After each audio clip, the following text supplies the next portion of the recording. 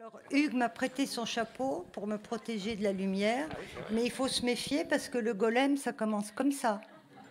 C'est l'histoire d'un homme qui prend le chapeau d'un autre et il lui vole ses pensées et ça va très très mal. Donc, si mon exposé délire, ça sera uniquement la faute de Monsieur Bachelot. Bon. Alors, c'est un peu comme pour Jean Birmenbaum. Euh, Hugues avait demandé un titre de toute urgence. Et un peu inconsidérément, là aussi, j'avais proposé le dialogue des carmélites et j'avais dit autour des dialogues des carmélites, parce que comment vous êtes rentré dedans. Et puis finalement, en relisant ce dialogue des carmélites, je l'ai appelé au cœur des dialogues des carmélites, le mystère de la substitution. Voilà. En, ouverture, je vais vous citer un distique d'Angelus Silesius. Pour ceux qui ne connaîtraient pas Angelus Silesius, c'était un théologien et poète du XVIIe siècle, de, Silésie, d'où le nom qu'il s'est donné je trouve que cette phrase, qui va peut-être vous sembler un peu obscure, donne vraiment le là, non pas à l'exposé, mais à la spiritualité de Bernanos. Rien ne te porte au-dessus de toi-même comme l'anéantissement, le plus anéanti et le plus divin. Bernanos a écrit Les Dialogues des Carmélites, son unique œuvre théâtrale, peu de temps avant sa mort, survenu en juillet 1948, et la publication de ce texte fut posthume. Cette œuvre est à la fois la plus commune au sens collectif et parmi les plus personnelles de Bernanos. Commune car elle s'inscrit dans une lignée de reprises. À l'origine un fait réel, le martyr de 16 carmélites de Compiègne, guillotiné place du Trône à Paris en juillet 1794. Le récit de leur arrestation, enfermement, procès et exécution, a été consigné par une des religieuses ayant échappé au massacre, sœur Marie de l'Incarnation, qui s'est appuyée sur des témoignages, des archives et des documents pour relater les faits.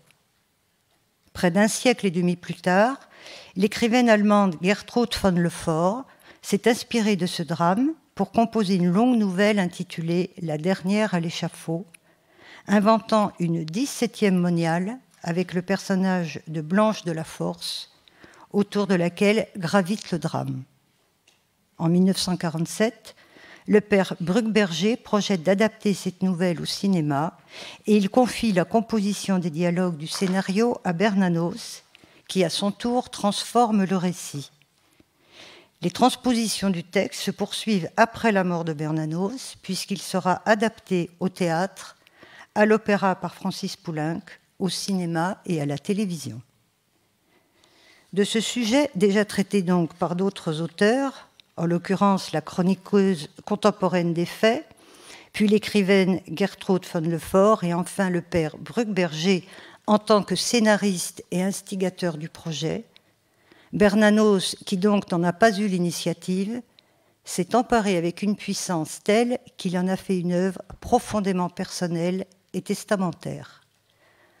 Comme l'a souligné Hans Urs von Balthasar dans le livre qu'il a consacré à Bernanos, le thème de la nouvelle de Gertrude von Lefort consonnait aux épreuves les plus intimes de Bernanos, à ce qui était déjà central dans ses premiers écrits. On ne saurait donc parler d'une influence quelconque de Gertrude von Lefort. L'angoisse de la mort est restée la mystérieuse note continue et la base fondamentale de toute sa vie. En cette dernière œuvre se résument, se condensent et s'épurent les thèmes principaux qui traversent tous ces romans. Le péché et la grâce, le mal et la sainteté, la déréliction et la joie, l'enfance et l'agonie, la crainte et la plus folle audace, et aussi et surtout la communion des saints et des pécheurs est le thème de la substitution. Cela ne s'oppose pas, les uns, les unes adhèrent à leur envers, comme la peau à la chair, les muscles aux os, les nerfs à la moelle épinière. Tout est cher chez Bernanos, cher au sang lourd qui porte l'ombre visqueuse de Satan, dans le triple recesse de ses tripes, ainsi que le confie le maquignon satanique à l'abbé Donissant. Tout est cher que l'esprit vient pétrir, pressurer, meurtrir.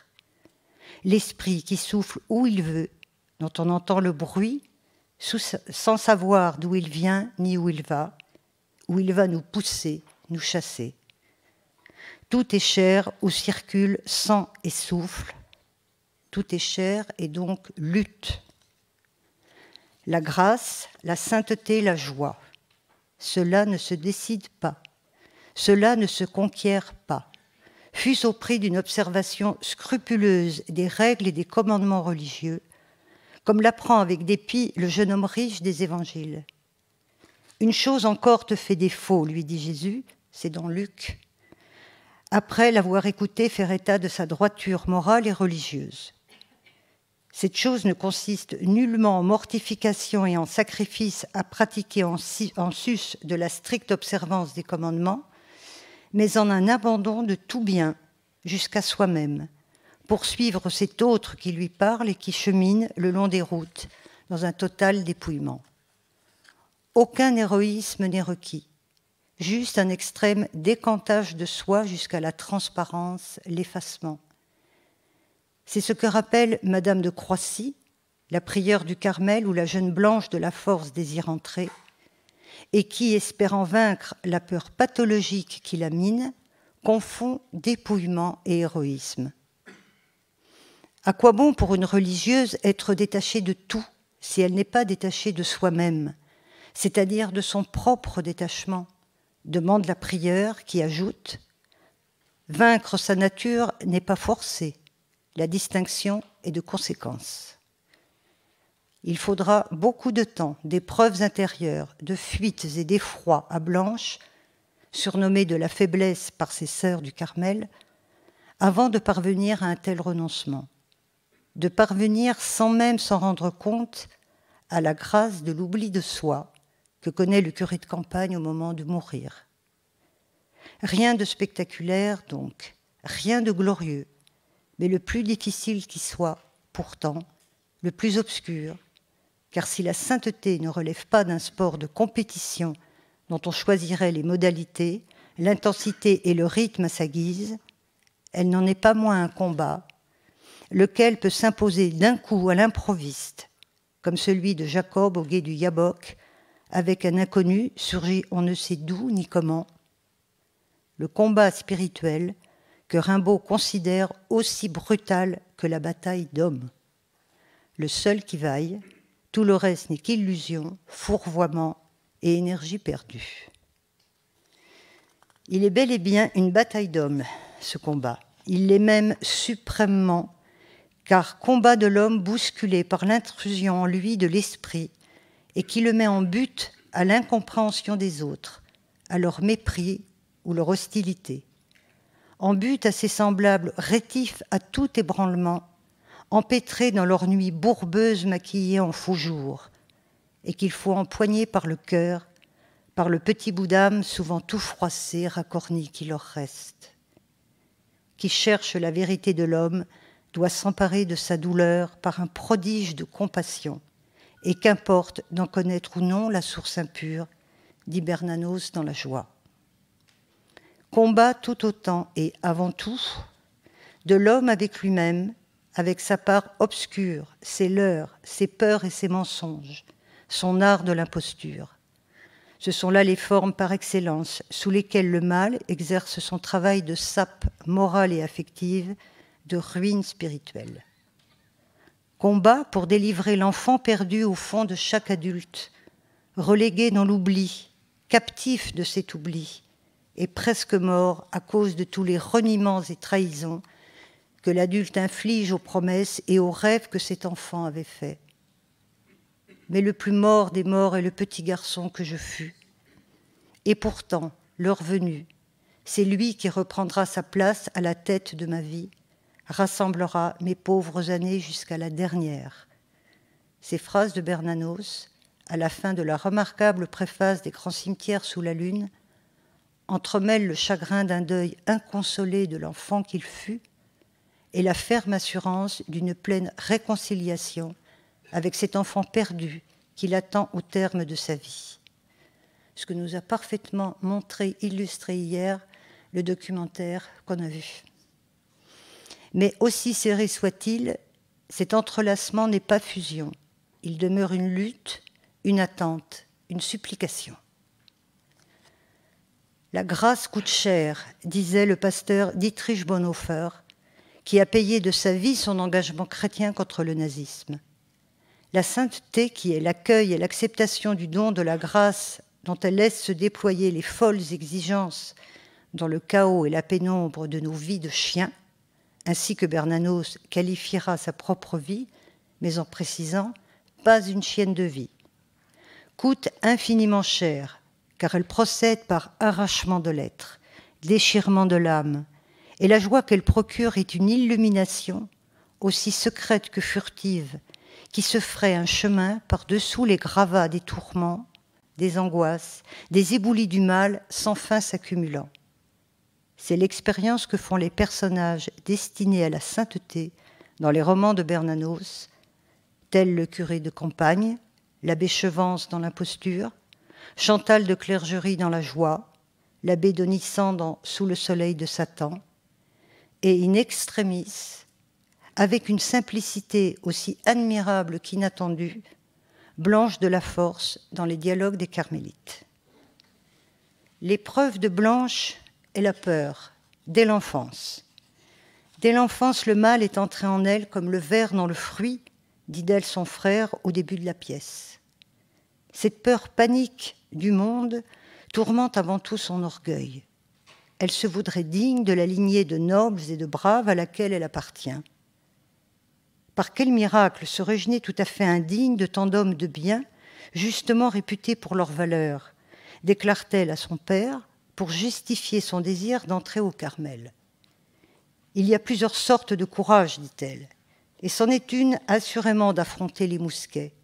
C'en est une autre de sacrifier les avantages d'une position enviable pour aller vivre parmi des compagnes et sous l'autorité de supérieurs d'une naissance et d'une éducation souvent inférieures à la vôtre. Et elle ajoute qu'elle est prête à tout abandonner a tout sacrifié à Dieu pour qu'il lui rende l'honneur. Elle confond son honneur mondain, comme d'ailleurs Mère Marie de l'Incarnation, la sous-prieure du couvent, toute raidie dans son sentiment de supériorité aristocratique, et le mystère de la vocation monacale. Elle voit à travers le prisme déformant de sa peur maladive la vie de religieuse recluse comme un asile où se réfugier, se terrer, disparaître aux yeux du monde pour grandir à ceux de Dieu. Mais son calcul est faux, et ce ne sera nullement par ses propres efforts, toujours vains, qu'elle parviendra à surmonter sa peur irrépressible, morbide, mais en se laissant épuiser par elle jusqu'à l'évinement, et à mesure en laissant s'accomplir en elle le travail de la grâce, lequel s'effectue non pas verticalement, dans une descente directe du divin en elle, mais horizontalement par des voies méandreuses à travers ses mères et ses sœurs carmélites. Le héros chez Bernanos n'est jamais celui qui combat seul à l'extrême frontière, il est bien le lieu de passage de l'universelle grâce, il appartient à une communauté. Cette dernière citation est de Urs von Balthasar. Toutes les religieuses du Carmel sont des lieux de passage, des corps traversiers, car eux-mêmes traversés, travaillés, foyés au plus profond de l'âme. Les dialogues ne sont de part en part qu'une pièce consacrée à l'agonie, constate Urs von Balthasar. La vie de toutes ces femmes se déroule avec comme seul horizon le jardin des oliviers. L'agonie divine est le fond sur lequel se déroule toute l'action. La première prieure, Madame de Croissy, se voit à l'heure de sa mort, dépossédée de la belle force d'âme et de l'assurance de sa foi qui portée sa vie durant. Elle meurt dans l'effarement, la solitude, la révolte, à la stupeur de sa communauté. Je me vois mourir, s'exclame-t-elle. Rien ne me distrait de cette vue. Je suis seule, absolument seule, sans aucune consolation. Dieu s'est fait lui-même une ombre et à la fin elle crie à Mère Marie de l'Incarnation, qui lui conseille de ne plus s'inquiéter que de Dieu, que suis-je à cette heure, moi, misérable, pour m'inquiéter de lui? Qu'il s'inquiète donc d'abord de moi. Votre révérence délire, répond sèchement Mère Marie, qu'un tel spectacle scandalise. Cette agonie rappelle par certains aspects celle du chambellan Christophe d'Etlef Bridge dans son domaine de Hulsgaard, tel que l'a décrit Rilke dans des pages magnifiques des cahiers de Malte, Loris Bridge. La mort submerge son corps qu'elle dilate, distord, transforme en une, en une sorte d'énorme sac rempli de cris et de gémissements qui terrifient tous les habitants du domaine et alentour, jusqu'aux chiens et au bétail. C'est un duel acharné que se livre le chambellan, irrésigné, et la mort inéluctable. C'était une mort terrible et impériale, écrit Rilke, que le chambellan avait portée en lui et nourri de lui toute sa vie durant. Tout l'excès de superbe, de volonté, d'autorité qu'il n'avait pu user était passé dans sa mort. Dans cette mort qui à présent s'était logée à Ulsgaard et galvaudait. Comment le chambellan Bridge eût-il regardé quiconque lui eût demandé de mourir d'une mort autre que celle-là? Il mourut de sa dure mort. La prieure aussi meurt d'une dure mort, et celle-ci l'est d'autant plus qu'elle n'est précisément pas la sienne, pas celle à laquelle elle s'était préparée sa vie entière et à laquelle s'attendaient les religieuses de sa communauté. Elle périt dans une mort étriquée, ainsi que les miséreux qui subissent une mort anonyme dans des hospices sordides que Rilke évoque au début de son livre. La mort est un thème aussi central dans l'œuvre de Rilke que dans celle de Bernanos traité par chacun comme l'ultime et le plus intime adversaire. Car nous ne sommes que l'écorce et la feuille, la grande mort que tout homme porte en soi, tel est le fruit autour duquel tout gravite. C'est un vers de Rilke. Mais leur conception de l'ars moriendi est radicalement différente. Pour Rilke, il ne saurait y avoir de substitution. Ce qu'il demande au contraire, c'est que chacun reçoive sa propre mort issue de sa seule et entière vie. L'agonie du chambellan Brige est à la fois un combat singulier, grandiose et opiniâtre, et un accouchement monstrueux. Le mourant accouche de sa propre mort. Cela n'advient jamais ainsi chez Bernanos, du moins pas directement. En amont de toute mort, il y a une substitution originaire, celle du Christ, et les saints et les saintes les humbles et les innocentes, sont ceux et celles qui, sans même le savoir, sans pouvoir en retirer la moindre consolation, renouvellent ce mystère.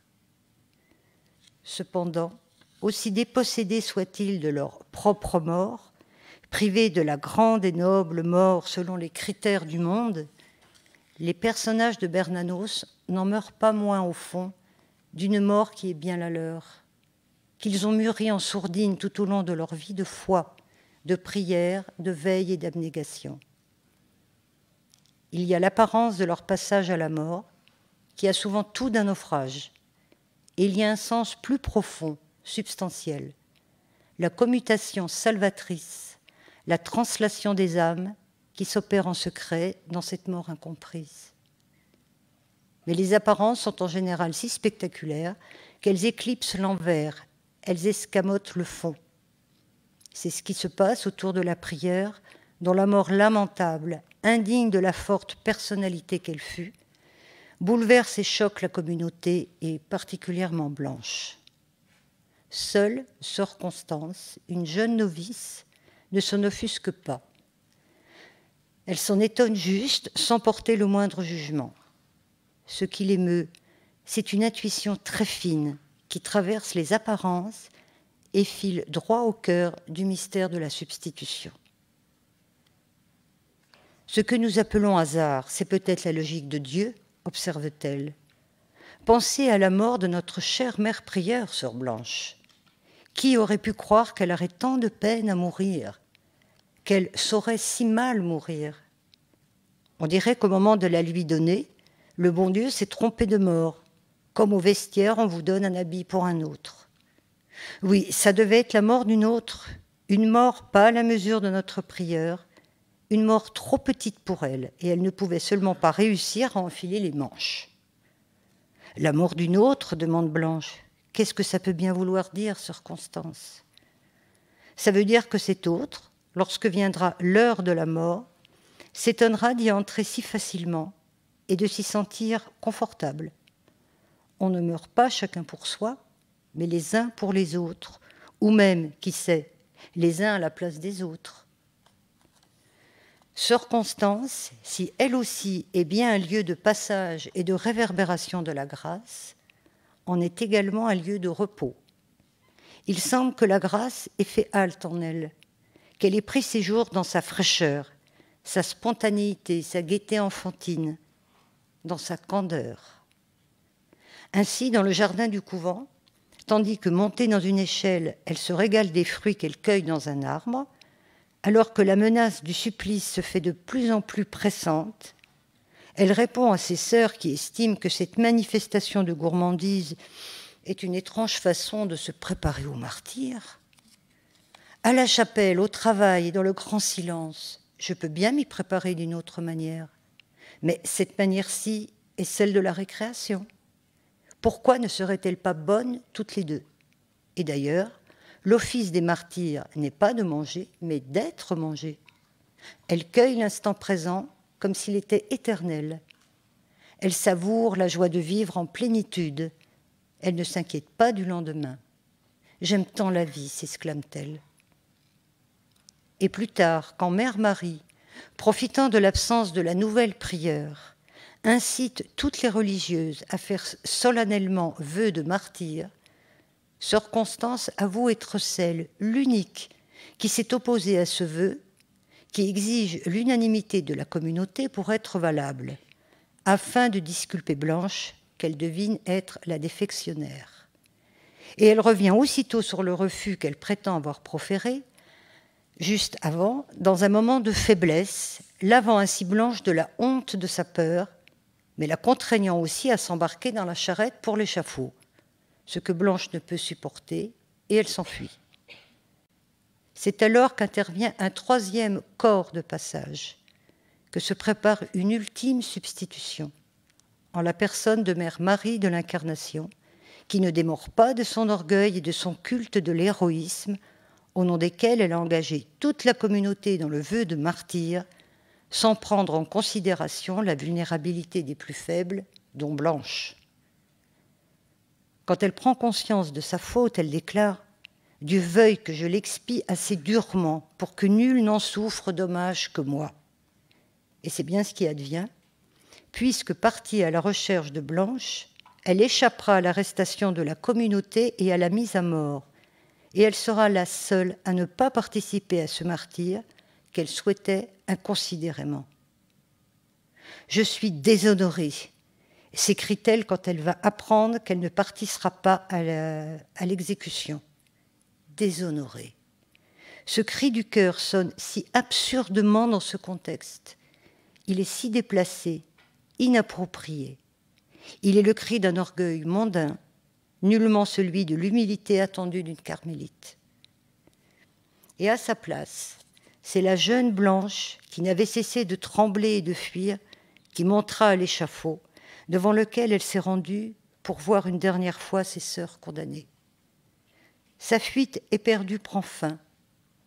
D'un coup, sa peur, cette peau racornie qui la tenait serrée, oppressée, tombe comme une mue et elle enfile avec aisance l'habit de mort sereine que la mère prieure avait laissé pour elle au vestiaire, ainsi que l'avait pressenti Sœur Constance.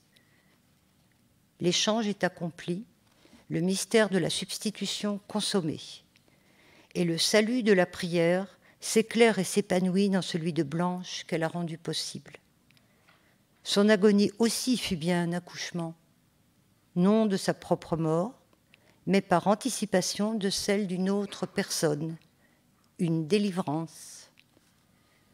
Pour Bernanos, toute existence n'a de sens que rapportée au mystère de la substitution inaugurée par le Christ, là où la plus extrême solitude devient la source de la plus profonde communauté, comme le souligne von Balthasar, qui ajoute que nous n'atteignons à l'existence qu'en nous enracinant dans l'humus de cette communauté. Il n'est de salut individuel que pour qui met son âme en circulation, qui en fait un moyen d'échange et de commerce. Place de la Révolution. Les carmélites gravissent une à une les marches de l'échafaud en chantant le Salve Regina puis le Veni Creator. Leurs voix sont claires et très fermes. La foule saisie se tait, précise Bernanos. La foule attend le spectacle comme des fauves leur pitance. Après quoi elle rugira ses clameurs de satisfaction, puis réclamera une nouvelle ration de mort. Mais la mise en scène qui s'improvise devant ses yeux la déconcerte et tient sa voracité en haleine. La plateforme de l'échafaud devient pareille à la table d'un hôtel sacrificiel et convivial où les sœurs, solidaires dans leur foi et fidèles à leur engagement, viennent recevoir leur ultime communion en se faisant elles-mêmes sacrement de l'Eucharistie. Bernanos procède à la dénudation des autels, écrit von Balthasar. À la fin, il ne s'agit plus de vivants, mais d'hosties offertes à la fureur dévorante des foules. C'est bien ce que la jeune Constance avait déclaré dans le verger du couvent. L'office des martyrs est d'être mangé. Le cœur démonial s'amenuise à mesure que tombe le couperet. C'est quand le mal fait le plus de bruit que nous devons en faire le moins, avait dit la prieure à Mère Marie, pour la mettre en garde contre la tentation d'un héroïsme exalté. Les sœurs chantent une dilatation de silence. Plus que deux voix, plus qu'une, plus aucune. Alors s'élève une nouvelle voix, plus nette, plus résolue encore que les autres, avec pourtant quelque chose d'enfantin. Blanche traverse d'un pas paisible la foule venue se régaler de sang. Elle rejoint ses sœurs sur l'autel eucharistique. Elle vient confluer avec leurs chants ensanglantés et qui s'épanchent en un silence que très peu savent percevoir. En guise de conclusion, et en écho à celui mis en exergue, un autre distique d'Angelus Silesius, qui outrepasse toute limite, toute mesure, à l'instar de la spiritualité de Georges Bernanos. L'abandon capte Dieu, mais délaisser Dieu même est un autre abandon que peu savent entendre.